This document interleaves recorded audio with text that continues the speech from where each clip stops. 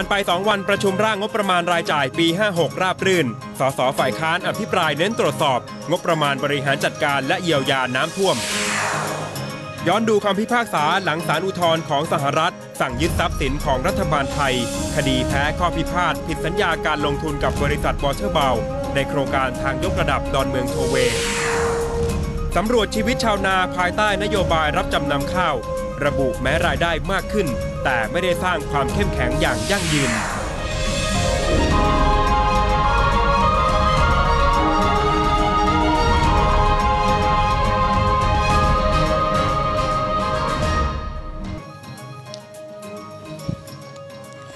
สวัสดีค่ะ นี่คือที่นี่ไทย PBS กับดิฉันนัฐถากมลวาทินค่ะ สองวันเต็ม ๆ แล้วนะคะ คุณผู้ชมคะกับการประชุมสภาผู้แทนราษฎร เพื่อพิจารณาร่างพระราชบัญญัติงบประมาณรายจ่ายปี 2556 ค่ะ ผ่านไป 2 วันไม่มีเหตุการณ์วุ่นวาย หรือว่าการตอบโต้กันในสภานะคะ แต่ว่าการพิจารณาเป็นรายมาตราถือว่าเป็นไปอย่างล่าช้า มีทั้งหมด 34 มาตรา แต่ว่าจนถึงขณะนี้ผ่านไปได้เพียง 5 มาตราเท่านั้นค่ะ ทางประธานคณะกรรมการประสานงานพักร่วมรัฐบาล หรือว่าวิปรัฐบาล เห็นว่าอาจจะต้องเลื่อนเวลาการประชุมออกไปอีกหนึ่งวันนะคะ จนถึงวันเสาร์ที่ 18 สิงหาคมค่ะ ติดตามความคืบหน้าจากรัฐสภาล่าสุดนะคะ กับคุณสุการดาสินขจิตค่ะ คุณสุการดาคะ ค่ะคุณนัทถาคะแม้ว่ารัฐบาลจะเปิดช่องขยายกรอบการพิจารณาไปถึงเสาร์อาทิตย์นี้นะคะ แต่ว่าวิปฝ่ายค้านเองจะขอประเมินสถานการณ์แบบวันต่อวันอีกครั้งหนึ่ง แต่ยังคงเชื่อและยังคงเชื่อมั่นด้วยนะคะว่าจะสามารถพิจารณาลงมติวาระสามในกรอบวันพรุ่งนี้ได้ค่ะ ก่อนหน้านี้นายสมศักดิ์เกียรติสุรนนท์ประธานสภาผู้แทนราษฎรจะย้ำว่าการประชุมมีบรรยากาศที่ดีแม้จะมีการประท้วงประปราย แต่ก็เชื่อได้ว่า จะสามารถลงมติวาระสามในวันศุกร์ที่ 17 สิงหาคมนี้ได้ แต่ก็มีแนวโน้มความเป็นไปได้ค่ะว่ากรอบเวลาการพิจารณาอาจจะขยายออกไปถึงวันอาทิตย์ที่ 19 สิงหาคม เนื่องจากการพิจารณาในแต่ละมาตราเป็นไปอย่างล่าช้า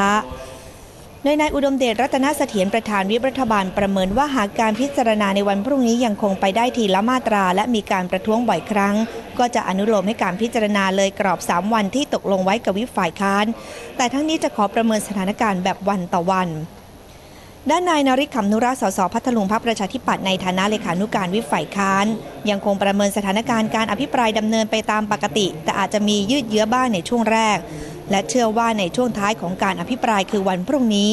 ก็จะมีการเร่งรัด แต่ต้องขึ้นอยู่กับที่ประ แต่ต้องขึ้นอยู่กับประธานในที่ประชุมว่าจะควบคุมการประชุมให้เป็นไปอย่างเรียบร้อยหรือไม่ เมืองต้นคาดว่าจะพิจารณาร่างพรบงบประมาณปี 2556 ในวาระ2และ 3 เสร็จภายในกรอบที่กำหนด คือวันที่ 17 สิงหาคมนี้ตลอดทั้งวันนี้ซึ่งเป็นวันที่ 2 ของการอภิปรายงบประมาณยังคงอยู่ในมาตรา 5 งบสำนักนายกรัฐมนตรี โดยฝ่ายค้านมุ่งเน้นการอภิปรายตรวจสอบโครงการบริหารจัดการน้ำเป็นหลัก ที่พบว่ามีการทุจริตเรียกกินค่าหัวคิวร้อยละ 30ถึง35 ในโครงการป้องกันน้ำท่วม ขณะเดียวกันก็ตั้งข้อสังเกตการจัดสรรงบฟุ่มเฟือย การจัดสรรงบประมาณไม่ตรงกับปัญหา มีการจัดสรรงบในลักษณะตอบแทนให้กับพื้นที่ทางการเมืองค่ะ กว่า 8 ชั่วโมงนะคะ ที่ใช้เวลาไปกับการอภิปรายในมาตรา5งบสำนักนายกรัฐมนตรี 25,000 กว่าล้านบาท ล่าสุดที่ประชุมเห็นชอบนะคะ ตามกันมาที่การเสียงข้างมากด้วยคะแนน 282 ต่อ 91 เสียงค่ะ และเข้าสู่การพิจารณามาตรา 6 งบของกระทรวงกลาโหมในทันทีนะคะที่มีวงเงินถึง 180,000 ล้านบาทค่ะ โดยฝ่ายค้านนั้นแปรยัตติขอลดงบประมาณในส่วนนี้ เพราะเห็นว่าการทำงานของรัฐมนตรีว่าการกระทรวงกลาโหมนั้น อ้างอิงกับการเมืองมากกว่าการพัฒนากองทัพนะคะ และล่าสุดก็ได้มีการลงมติในมาตรานี้เป็นที่เรียบร้อยแล้วนะคะ ด้วยคะแนน 276 ต่อ 76 เสียงค่ะ ขอบคุณมากค่ะ คุณสุการดาคะ คุณผู้ชมคะ เหตุการณ์เมื่อปีที่แล้วนะคะกับการยึดเครื่องบินพระที่นั่งส่วนพระองค์ที่ประเทศเยอรมนีได้ทำให้ข่าวคราวคดีเกี่ยวกับบริษัทวอเตอร์บาวของเยอรมนี และรัฐบาลไทยกลายเป็นเรื่องที่ได้รับความสนใจขึ้นมาอีกครั้งนะคะ ขณะนี้ต้นเรื่องยังอยู่ที่ศาลชั้นต้นของประเทศเยอรมนี ขณะที่ 8 สิงหาคมที่ผ่านมาศาลอุทธรณ์ของสหรัฐตัดสินแล้วนะคะ บอกว่าให้ยึดทรัพย์ของรัฐบาลไทยค่ะทำไมเรื่องนี้ไปเกี่ยวกับศาลอุทธรณ์ของสหรัฐ และที่มาที่ไปของคดีนี้คืออะไร ติดตามรายงานจากคุณวราวิทย์ชิมมณีค่ะ8สิงหาคมที่ผ่านมาศาลอุทธรสหรัฐ พิพากษายืนตามศาลชั้นต้น บังคับคดีให้บริษัทวอลเตอร์บาวของเยอรมนี แจ้งยึดทรัพย์รัฐบาลไทยในสหรัฐได้ หลังจากอนุญาโตตุลาการตัดสินให้ไทยต้องจ่ายค่าเสียหาย เพราะผิดสัญญาการลงทุนกับวอลเตอร์บาวในโครงการทางยกระดับดอนเมืองโทลล์เวย์ แต่ไทยยังไม่ยอมจ่าย นำไปสู่การยื่นบังคับคดียึดทรัพย์ในสหรัฐ เพราะคำชี้ขาดของอนุญาโตตุลาการไม่ว่าทำคำชี้ขาดขึ้นในประเทศไหนก็แล้วแต่ ถ้าประเทศที่ทำคำชี้ขาดนั้นเนี่ยเป็นประเทศที่เป็นภาคีสมาชิกของ New York Convention นะซึ่งไทยแลนด์ก็เป็นนะครับคำชี้ขาดกรณีของวอลเตอร์บาวเนี่ยทำขึ้นที่ประเทศสวิตเซอร์แลนด์สวิตเซอร์แลนด์ก็เป็นภาคีสมาชิกของ New York Convention เพราะฉะนั้นคำชี้ขาดอันนี้เนี่ยไม่ว่ารัฐบาลไทยมีทรัพย์สินอยู่ที่ไหนทั่วโลก เกือบทั่วโลกผมต้องใช้อย่างนี้ดีกว่า เพราะเพราะประเทศทุกๆเกือบเกือบทุกประเทศทั่วโลกเนี่ยเป็นภาคีสมาชิกของ New York Convention อยู่แล้ว เพราะฉะนั้นเนี่ยวอลเตอร์บาวเองสามารถที่จะนำคำชี้ขาดตรงนี้ไปขอให้ศาลแต่ละประเทศเนี่ยเขาบังคับตามคำชี้ขาดได้ คดีนี้เป็นที่สนใจหลังจากศาลเยอรมัน มีคำสั่งคุ้มครองชั่วคราวให้บริษัทวอลเตอร์บาวระหว่างพิจารณาคดี โดยยึดเครื่องบินพระที่นั่งส่วนพระองค์ หลังจากนั้นรัฐบาลไทยชี้แจงว่าเครื่องบินไม่ใช่ทรัพย์สินของรัฐ เพราะกองทัพอากาศทูลเกล้าถวายไปแล้ว แต่สุดท้ายไทยต้องวางหลักประกัน 1,500 ล้านบาทนำเครื่องบินกลับมานะครับมีตราสยามมงกุฎราชกุมารครับถือหน่อยวอเตอร์บาเรียกร้องค่าเสียหาย 2 ข้อจากรัฐบาล คือจ่ายเงิน 29.21 ล้านยูโร พร้อมดอกเบี้ยอัตรายุโรป และค่าใช้จ่าย 2%ต่อปี เริ่มคิดดอกเบี้ยตั้งแต่วันที่ 3 ธันวาคม 2549 จนถึงวันชำระเงินครบ ข้อเรียกร้องที่ 2 คือจ่ายเงิน 1.8 ล้านยูโร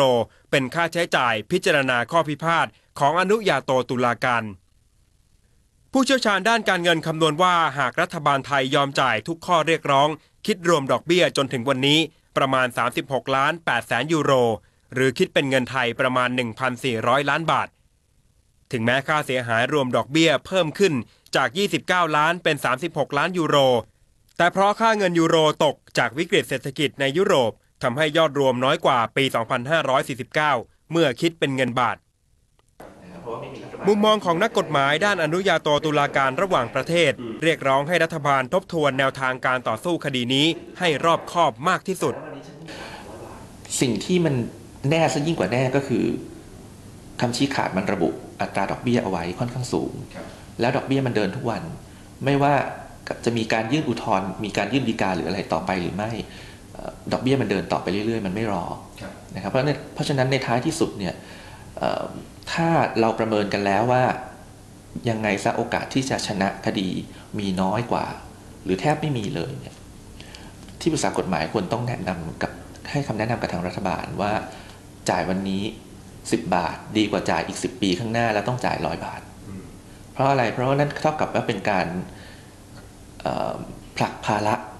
ในตัวดอกเบี้ยเนี่ยนะครับ ให้กับชนชั้นลูกหลานของเรานั่นแหละ การแพ้อุทธรณ์ในศาลสหรัฐทำให้นักกฎหมายมองว่า แนวโน้มคำตัดสินอาจไม่ต่างกันในเยอรมนี เพราะศาลพิจารณาจากกฎหมายเดียวกัน ขณะที่ไทยวางหลักประกันค่าเครื่องบินไว้แล้ว 1,500 ล้านบาท อาจจะถูกยึดทันทีหากแพ้คดี แต่การตัดสินใจของรัฐบาลทุกชุดในคดีนี้ว่าจะจ่ายหรือไม่จ่ายอาจไม่ใช่เรื่องง่าย เพราะนั่นหมายถึงความรับผิดชอบทางการเมืองด้วย วราวิชิมณี ไทย PBS รายงาน คุณผู้ชมคะจนถึงขณะนี้เด็กนักเรียนชั้นป .1 ตามโรงเรียนต่างๆ ทั่วประเทศน่าจะได้รับแจกแท็บเล็ตกันไปแล้วนะคะ 50,000 เครื่องค่ะ ตามโครงการข้อตกลงที่ไทยทำสัญญากับบริษัทเซินเจิ้น Scope ของประเทศจีน ตามข้อตกลงเซินเจิ้น Scope จะต้องดูแลเรื่องการให้บริการหลังการขาย ในเรื่องของการใช้งานนะคะ และการดูแลคุณภาพของเครื่อง แต่ทางทีมข่าวของไทย PBS ลงพื้นที่ตรวจสอบนะคะพบว่ายังมีปัญหาในเรื่องการดูแลการใช้งานแท็บเล็ตขณะที่ระลอกที่ 3 ของเครื่องแท็บเล็ตอีก 60,000 เครื่องจะส่งถึงโรงเรียนต่างๆ โรงเรียนปลายทางภายในสัปดาห์นี้ด้วย ติดตามรายงานจากคุณสถาพรพงพิพัฒน์วัฒนาค่ะอะนักเรียนเริ่มเปิดเครื่องนะคะ ครูรุ่งฤทัยครูประจำชั้นป .1 เริ่มนำแท็บเล็ต PC ที่ได้รับแจกตามโครงการของรัฐบาล มาสอนนักเรียนของเธอที่โรงเรียนบ้านเขาปูนอำเภอเมืองจังหวัดกาญจนบุรี ก่อนที่เธอจะต้องเข้ารับการอบรมการสอนโดยใช้สื่อการสอนแบบใหม่นี้ครูรุ่งฤทัยบอกว่าการใช้แท็บเล็ตเป็นสื่อการสอนน่าจะช่วยเรียกความสนใจจากเด็กได้มากขึ้น อันนี้น่าจะเป็นลักษณะสื่อช่วยช่วยในการสอนค่ะเปลี่ยนจากที่ว่าเรียน ขียน ก็เปลี่ยนบรรยากาศมาเป็นการใช้แท็บเล็ตนะคะ เพราะว่าในแท็บเล็ตนี้มีทั้งหนังสือที่อ่านอย่างหนังสือในที่อ่าน เช่นหนังสือใบบกใบบัวงเงี้ยค่ะในแท็บเล็ตก็มี จากที่อ่านเป็นเล่มเราก็เปลี่ยนมาอ่านในแท็บเล็ตเด็กก็จะมีความแบบตื่นเต้นแล้วเขาก็อ่านไปได้เนี่ยค่ะ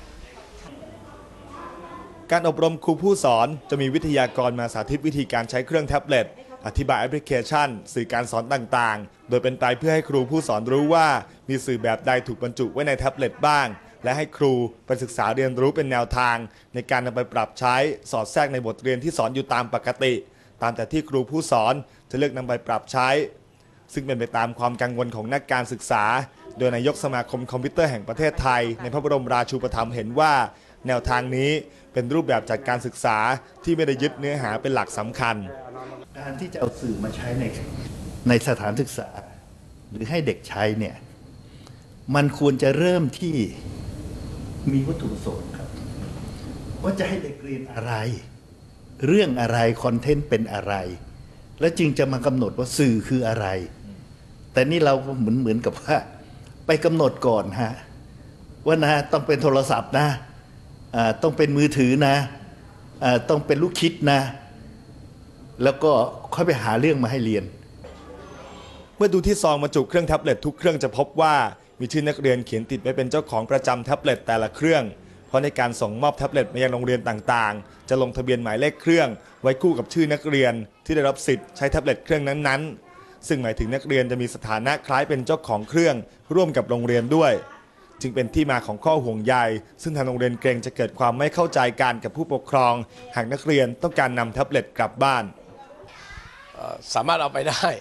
ได้ แต่ว่ามันมีเงื่อนไขว่าทางสำนักงานเขตบอกว่านโยบายว่าให้โรงเรียนเนี่ยมาบริหารจัดการกับผู้ปกครองเอง ก็โดยที่ถ้าผู้ปกครองคนไหนต้องการให้เด็กเอากลับไปใช้ที่บ้านได้ด้วยเพื่อไปฝึกหัดอะไรก็ตามเนี่ยอาจจะในโรงเรียนมีเวลาน้อยอะไรเงี้ยนะครับ ก็จะไปฝึกหัด เราก็ต้องให้เขาทำบันทึกข้อตกลง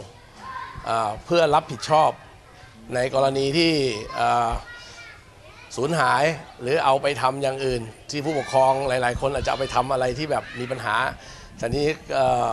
เขาต้องรับผิดชอบในตรงนั้น แต่ต้องทำบันทึกข้อตกลงกันกับกับทางโรงเรียน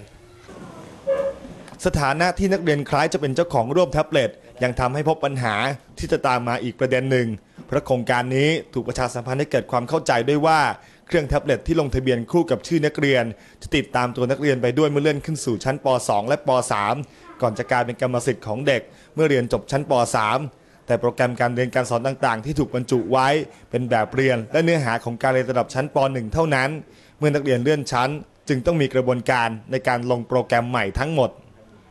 ในความตกลงระหว่างกระทรวง ICT กับบริษัทเซนเจ n นสโคป Scientific Development จำกัด ผู้ผลิตแท็บเล็ต ยังระบุไว้ในข้อที่ 13 เกี่ยวกับคำสั่งซื้อเพิ่มเติม ซึ่งให้กระทรวง ICT มีสิทธิ์ที่จะทำคำสั่งซื้อเพิ่มเติมเครื่องแท็บเล็ตรุ่นเดิม ด้วยความตกลงเดิมเพิ่มเติมได้อีกไม่เกิน 1 ล้านเครื่อง ซึ่งก็ซื้อมาเพิ่มแล้ว 6 0 0 0 0 0 เครื่องตามกำหนดเวลา และถูกตั้งข้อสังเกตว่าการสั่งซื้อเครื่องมืออิเล็กทรอนิกส์ โดยใช้สัญญาเดิม ทั้งที่ช่วงเวลาต่างกัน จะถือเป็นสัญญาที่รัฐเสียเปรียบเอกชนหรือไม่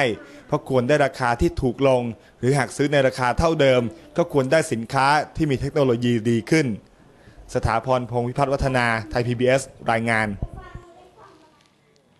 คุณผู้ชมคะขบวนการลักลอบตัดไม้พยุงเปลี่ยนเป้าหมายในการทำงานนะคะ จากภาคอีสานตอนบนมาที่บริเวณอุทยานแห่งชาติทับลานจังหวัดนครราชสีมากันมากขึ้นค่ะทำให้เจ้าหน้าที่ต้องปรับเปลี่ยนการทำงานเช่นเดียวกันนะคะ พบการลักลอบตัดไม้ทั้งที่อำเภอเสริงสางและอำเภอคอนบุรี และพบว่ามีผู้นำชุมชนเข้าไปเกี่ยวข้องด้วย ติดตามรายงานจากคุณสายชนวัฒนุชาค่ะ สภาพความอุดมสมบูรณ์ของป่าอุทยานแห่งชาติทับลาน จังหวัดนครราชสีมา ที่เต็มไปด้วยต้นไม้ขนาดใหญ่ อายุนับร้อยปี โดยเฉพาะป่าในเขตจัดการป่าไม้ที่ 3 หน่วยคลองน้ำมัน จุดที่เจ้าหน้าที่พาทีมข่าวเข้าไปสำรวจไไอเราเข้ามาเนี่ยมันต้องใช้ใช้เวลาอย่างต่ำก็ประมาณประมาณสามวัน เจอไม่เจอก็ก็พยายามที่วางไว้ว่าจะให้ให้อยู่ในป่าเยอะๆมีฉุกเฉินอะไรหรือจับคนได้ก็ค่อยว่ากันไป แต่แผนจะมาครั้งหนึ่งก็ไม่ต่ำกว่าสามวันคงคงไม่เหนื่อยเกินไปงั้นป่าผืนนี้เจ้าหน้าที่ยอมรับว่ายังมีไม้พยุงถูกลักลอบตัดเป็นจำนวนมาก และเริ่มรุนแรงมากขึ้นในช่วงหนึ่งปีที่ผ่านมา โดยคาดว่าปริมาณไม้พยุงในภาคอีสานตอนบนที่มีน้อยลง ทั้งการลักลอบตัด และการกวาดล้างของเจ้าหน้าที่ทำให้เป้าหมายของขบวนการมอดไม้พยุง เปลี่ยนมาที่ป่าทับลาน ในกลุ่มข้างนอกก็หาข่าวตรงนั้นดักตรงนี้ก็เข้าว่ากันไป แต่ในเจ้าหน้าที่ในพื้นที่ต้องมีอยู่แล้วในการเกาะติดกลุ่มที่เราก็สำรวจดูแล้วว่าไม้พยุงมีอยู่กลุ่มนี้กลุ่มหนึ่งกลุ่มนี้กลุ่มหนึ่งอย่างน้อยกลุ่มที่เราเคยเจอไม้พยุงหรือเจอร่องรอยที่เข้ามาตัดเนี่ยเจ้าหน้าที่เราต้องเกาะติดอยู่ แม้จะมีมาตรการป้องกัน แต่ด้วยจำนวนเจ้าหน้าที่ที่ต้องแบ่งเป็นชุดทำงานทั้งในป่าและด้านนอก รวมถึงขบวนการตัดไม้ที่มีเครือข่ายเป็นคนในพื้นที่หลายกลุ่ม พยายามใช้เส้นทางใหม่เพื่อหลบเลี่ยงเจ้าหน้าที่ทำให้การปฏิบัติงานทำได้ยากยิ่งขึ้นเขาดูเรานะถ้าเราไปดักเส้นนี้บ่อยๆเขาก็จะหาทางใหม่ไปอีกก็ต้องมีการปรับเปลี่ยนไปครับเรื่ครับอยแล้วก็ๆทำปรับทำกับเปลี่ยนเขาตามเขาไปเรื่อยครับถ้าเราเข้าไม่เข้ามาเขาก็ใช้เส้นเนี้ยพอเราเข้ามาตรวจบ่อยเขาเจอร่องรอย ปะทะกันบ่อยๆหรือว่าจับกันได้บ่อยๆเขาก็เปลี่ยนเส้นทางอ๋อเรารถเข็นตอนนี้คือไม้ลงไปแล้ว ลงไปแล้วหนึ่งครั้งแต่เห็นรอยอย่างนี้ไม่ต้องไปตามเห็นแต่ตอชุดลาดตระเวนพาทีมข่าวสำรวจช่องทางตามแนวป่า แล้วก็พบกับร่องรอยการชักลากไม้ เจ้าหน้าที่บอกว่าเป็นรอยใหม่ที่เกิดขึ้นไม่เกิน 2 วันก่อนหน้านี้ ถ้าเห็นเป็นล้อลงแบบนี้แล้วเนี่ยตามเข้าไปก็โอกาสเจอน้อย ครับมีโอกาส ก็จะมีโอกาสเกิดขึ้นขึ้นลงเหมือนครับเพราะต้องการหาร้อยครับหาร้อยครับมีร้อยตามมันตรงนี้ใหม่ไม่โทษมันที่เห็นอยู่ทั้งหมดนี้คือไม้พยุงแปรรูปที่เจ้าหน้าที่ตรวจยึดได้ในเขตจัดการป่าที่ 3 คลองน้ำมันอุทยานแห่งชาติป่าทับลาน แต่ว่าปริมาณไม้อาจจะมีจำนวนไม่มากนะครับ แต่จุดที่น่าสนใจอยู่ที่ความกว้างของไม้แต่ละแผ่น อย่างเช่นแกนไม้พยุงแผ่นนี้ครับจะเห็นว่ามีความกว้างค่อนข้างมากนะครับ หากเปรียบเทียบก็จะมีความยาวประมาณท่อนแขนของผม นั่นแสดงให้เห็นว่าไม้พยุงแผ่นนี้น่าจะถูกตัดมาจากต้นที่มีอายุมากกว่า 100 ปี และไม้ลักษณะนี้แหละครับกำลังเป็นที่ต้องการของขบวนการลักลอบตัดไม้ เพราะว่ามีมูลค่าสูง ภาพคลิปวิดีโอชุดนี้แสดงให้เห็นถึงวิธีการใช้รถเข็นชักลากไม้ออกจากป่า ของกระบวนการลักลอบตัดไม้ แต่ถูกเจ้าหน้าที่จับได้เสียก่อน อีกสาเหตุหนึ่งที่ทำให้ป่าทับลานถูกบุกรุกตัดไม้พยุงมากขึ้น คือขนาดไม้ที่ใหญ่กว่าทางภาคอีสานตอนบน นั่นหมายความว่าหากไม้เล็ดลอดออกไปได้ มูลค่าก็จะเพิ่มมากขึ้น ผู้ช่วยหัวหน้าอุทยานแห่งชาติทับลานบอกว่า ที่ผ่านมาเจ้าหน้าที่จับกลุ่มอย่างต่อเนื่อง แต่ก็ยอมรับว่ามีไม้พยุงเล็ดลอดออกไปบ้าง เพราะพื้นที่รับผิดชอบในอำเภอเสริงสาง และอำเภอคอนบุรีมีเนื้อที่มาก รวมถึงขบวนการตัดไม้ทำงานเป็นเครือข่าย มีการวางแผน และมีชาวบ้านในพื้นที่ร่วมด้วย การทำไม้ของเสริงสางคอมรีเนี่ย สถานการณ์ของเขาเนี่ยไม่ได้ไม่ได้ต่างคนต่างทำนะเขาทำเป็นกระบวนการนะมีทั้งผู้นำหมู่บ้านก็มีด้วยนะเราเคยจับผู้นำหมู่บ้านได้นะครับ มีการใช้วิทยุ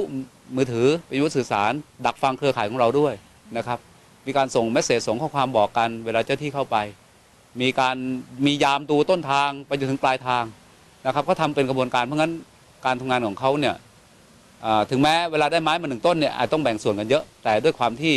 เขาทำเป็นกระบวนการเราก็จับเขาค่อนข้างยาก สิ่งที่ยืนยันว่าสถานการณ์ลักลอบตัดไม้พยุงในอุทยานแห่งชาติทับลานรุนแรงขึ้น คือสถิติคดีที่เจ้าหน้าที่จับกลุ่มได้มากขึ้น โดยเฉพาะหนึ่งปีที่ผ่านมา มีทั้งไม้ของกลางที่ยึดได้จำนวนมาก รวมถึงผู้ต้องหาที่เป็นถึงระดับผู้นำหมู่บ้าน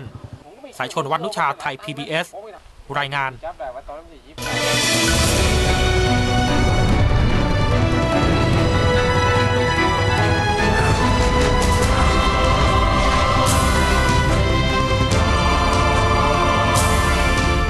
คุณผู้ชมคะการเข้าก้าวเข้าสู่ประชาคมอาเซียน การเรียนรู้ภาษาอังกฤษเพียงอย่างเดียวก็คงจะสื่อสารกันได้ไม่ถึงใจนะคะ ถ้ายิ่งหลงไหลในวัฒนธรรมของประเทศเพื่อนบ้านก็อาจจะยิ่งช่วยให้เข้าใจความเป็นอยู่ และเข้าใจวิถีชีวิตกันมากขึ้นค่ะหนุ่มสิงคโปร์คนหนึ่งมาหลงรักประเทศไทยนะคะ และบอกว่าติดใจภาษาไทยอย่างมากด้วย และชื่นชอบวัฒนธรรมไทย ติดตามรายงานจากคุณรุ่งทิพย์โชตนภาลัยค่ะ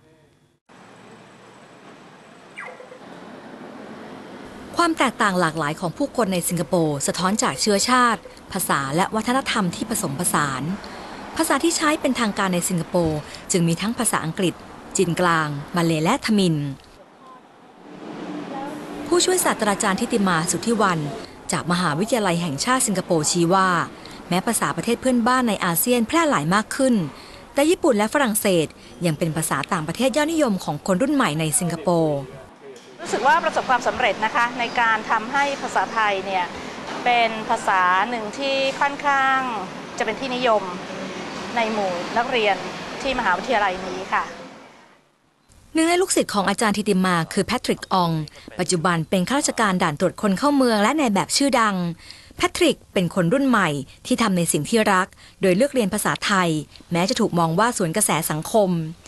หนุ่มสิงคโปร์หัวใจไทยคนนี้ยังบอกว่าเขารักในหลวง และมีความสุขที่ได้ซึมซับวัฒนธรรมและความเป็นไทย ตอนที่แพทริกพูดภาษาไทยก็มีความสุขนะครับหรืออ่านภาษาไทยก็มีความสุขครับประเทศไทยเป็นเป็นประเทศเพื่อนบ้านของสิงคโปร์แห่งนี้ แล้วแพทริกก็เห็นว่าจะมีประโยชน์มากนะครับ แล้วแพทริกตอนนั้นก็สนใจเกี่ยวกับวัฒนธรรมประวัติศาสตร์ใช่ไหมก็ไม่ค่อยสนใจเกี่ยวกับในการลงทุนในการทำงานที่เหมือนเพื่อนคนอื่นครับคนไทยก็ ก็ส่วนใหญ่เขาก็สบายๆอย่างนี้ แล้วก็เออแล้วก็ตอนที่คุยกับเขาเขาก็ไม่ค่อยเครียดเหมือนคนสิงคโปร์นะครับแล้วคนสิงคโปร์เครียดอะไรกันนะคะคนสิงคโปร์เหรอก็เพราะว่าทุกสิ่งทุกอย่างที่สิงคโปร์แพงมากครับแล้วให้ให้พระจุเกิดในในอนาคตนะครับพระจุก็อาจจะรักพระจุก็จะอาจจะเลือกประเทศไทยนะ ความสนใจศาสนาพุทธอย่างลึกซึ้งของแพทริก ได้รับการปลูกฝังจากคุณตาที่เลื่อมใสหลวงพ่อสดวัดปากน้ำแพทริกได้เขียนวิทยานิพนธ์ปริญญาโท ที่จุฬาลงกรณ์มหาวิทยาลัย ในหัวข้อเทคนิคการนั่งสมาธิแบบโบราณของไทย เขาบอกว่าวิถีพุทธ และการนั่งสมาธิยังช่วยสร้างสมดุลในชีวิตการทำงานที่วุ่นวายของเขาในสิงคโปร์แม้แพทริกจะเรียนภาษาไทยเพื่อพัฒนาตนเอง แต่ความรู้เหล่านี้ค่อยๆ กลายเป็นโอกาสความก้าวหน้าทางการงาน ความสำคัญของภาษาหรือความสำคัญที่เราจะเรียนรู้อะไรเกี่ยวกับประเทศเพื่อนบ้านเนี่ยมันจะเอามาเชื่อมโยงยังไงกับความเป็นอาเซียน เขาก็ใช้ความสามารถของแพทริกนะครับ เช่นเดือนที่แล้วเขาก็จะให้แพทริกไปไปประเทศไทยไปทำงานที่นู่นไปไปสร้างความสัมพันธ์กับเอ่อ immigration ไทยนะครับ ก็คือการทำงานของของคนที่โยกย้ายถิ่นฐานในอาเซียนอาเซียนนะครับใช่ครับเกี่ยวกับ เกี่ยวกับเขาเรียกว่าอะไร human smuggling ในอาเซียน irregular migration ในอาเซียนนะครับแล้วแพทริกก็เห็นว่าแพทริกก็จะมีมีหน้าที่ที่ทำแบบนี้นะแม้อังกฤษจะเป็นภาษากลางในอาเซียน แต่การเข้าใจภาษาและวัฒนธรรมของเพื่อนบ้านอาเซียนด้วยกัน ไม่เพียงแค่ทำให้เข้าใจกันเท่านั้น แต่จะทำให้ประชากรอาเซียนใกล้ชิดสนิทสนมกันมากกว่าที่ผ่านมา รุ่งทิพย์โชนภาลัย ไทย PBS รายงาน คุณผู้ชมคะคนมุสลิมในมาเลเซียเตรียมจะเดินทางกันไปทางเรือนะคะ พร้อมกับขนสเสบียงและอาหารเพื่อเข้าไปยังรัฐยะไข่ของพม่านะคะนำความช่วยเหลือไปให้กับคนโรฮิงญาค่ะ ขณะที่คนโรฮิงญาที่อยู่ในไทยบอกว่า ควรจะเร่งกดดันประชาคมโลกนะคะ เพื่อให้กดดันไปยังรัฐบาลพม่าต่อด้วยค่ะในการเสวนาหัวข้ออนาคตของประชาชนชาวพม่าโรฮิงญาในการสร้างความปรองดอง และการพัฒนาประชาธิปไตยพม่า ที่คณะรัฐศาสตร์ มหาวิทยาลัยธรรมศาสตร์ มีนักวิชาการจากสหรัฐและแคนาดาร่วมแสดงความคิดเห็น โดยนายฮาบิบสิดิกิตผู้อำนวยการศูนย์ค้นคว้าวิจัย เกี่ยวกับอารากันจากสหรัฐเห็นว่าหนทางแก้ปัญหาของกลุ่มชาติพันธุ์โรฮิงญาในพม่า คือทางการพม่าต้องแก้กฎหมายสัญชาติปี 2525 ซึ่งระบุว่าชาวโรฮิงญาไม่ใช่พลเมืองของพม่า ทั้งที่ก่อนหน้านั้น คนโรฮิงญาถือว่าเป็นกลุ่มชาติพันธุ์ ที่อาศัยอยู่ในพม่าเป็นเวลานาน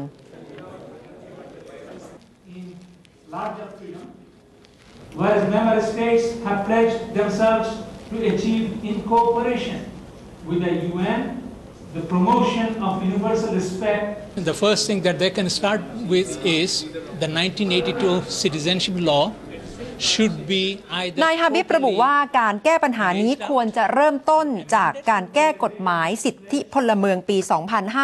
2555 เพื่อให้กลุ่มชาติพันธุ์กลุ่มน้อยทุกกลุ่มในพม่า ไม่เฉพาะแค่ชาวโรฮิงญาได้รับสิทธิการอยู่อาศัยในพม่าอย่างเท่าเทียมกัน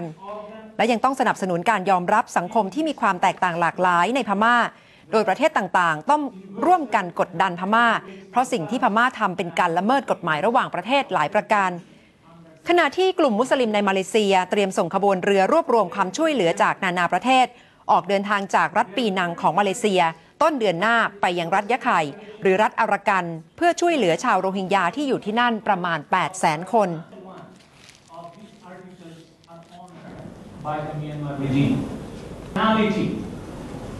They will stop us because uh, they are not allowing us to come from uh, from land. Neither they, uh, we are not allowed to fly to uh, Arakan. Now the border is closed. นายอัสมีอับดุลฮามิดเลขาธิการสภาที่ปรึกษาสังคมอิสลามมาเลเซียกล่าวว่าพม่าไม่อนุญาตให้ขนส่งความช่วยเหลือเข้าไปทางบก และทางเครื่องบิน ขณะที่คนโรฮิงญากำลังอดอยากกำลังเสียชีวิต ชาวโลกจึงรอไม่ได้ โดยขณะนี้ทางกลุ่มมุสลิมกำลังศึกษากฎหมายเดินเรือตะทางทะเลอยู่นะคะ และได้ส่งหนังสือแจ้งไปยังองค์กรระหว่างประเทศหลายแห่งแล้ว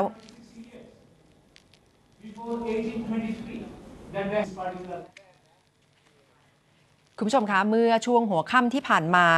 เกิดเหตุนักเรียนอาชีวะสถาบันเทคโนโลยีพระราม 6 ค่ะ ถูกกลุ่มนักเรียนสถาบันคู่อริ ยิงเสียชีวิตขณะนั่งบนรถเมย์รถร่วมประจำทาง สาย 110 นะคะ วิ่งแยกบางพลัดไปสะพานพระราม 7 คนขับรถเล่าเหตุการณ์ในเบื้องต้นว่าขณะที่รถเมย์กำลังขับไปจอดที่ป้ายหน้าชุมชนวัดพานุรังสี ใกล้ซอยจรัญสนิทวง 75 มีกลุ่มนักเรียนอาชีวะไม่ระบุสถาบันประมาณ 20 คน ขวางหน้ารถเพื่อให้รถเมย์หยุด และอีกจำนวนหนึ่งวิ่งขึ้นไปบนรถ จากนั้นมีเสียงปืนดังประมาณ 2 นัด กลุ่มนักเรียนที่ก่อเหตุแยกย้ายและหลบหนีไป จากนั้นพบว่ามีนักเรียนอาชีวะอายุ 16 ปี เสียชีวิต 1 คนค่ะ ความคืบหน้าเรื่องนี้ติดตามกันในช่วงข่าวดึกนะคะ ทั้งหมดคือที่นี่ไทย PBS และ i n s i ซต์อาเซียนค่ะ ตอบโจทย์คืนนี้คุณพินโยไตรสุริยธรรมมาคุยกับพลเอกเชษฐาฐานะจาโรนะคะ ประธานสภามวยไทยโลก และอดีตนายกสมาคมมวยสากลสมัครเล่นแห่งประเทศไทย ถึงปัญหาการทุจริตที่เกิดขึ้นในวงการมวยค่ะสำหรับช่วงนี้ดิฉันนัฐาโกมลวาทิน สวัสดีค่ะ